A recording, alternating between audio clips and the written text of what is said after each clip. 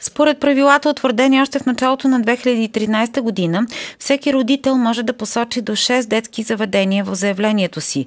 Необходимо е внимателно да се избере месеца и годината, в които детето ще участва в класирането. Те не съвпадат с месеца и годината, от които родителите желаят детето им да започне да посещава детското заведение.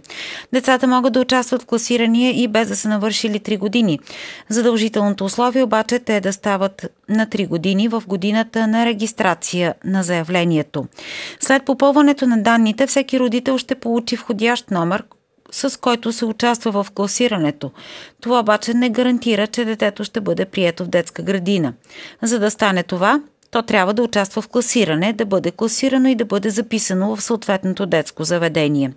Ако родителят не желая детето му да посещава детското заведение, в което е класирано, той се отказва от приема, като не записва детето, губи входящия си номер и може да участва в следващи класирания, като подаде ново заявление с нов входящ номер.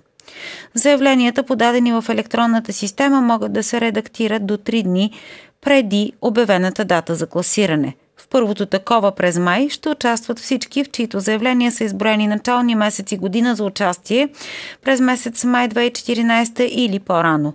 В класиране няма да участват заявления, в които началния месец и година следват месец юни.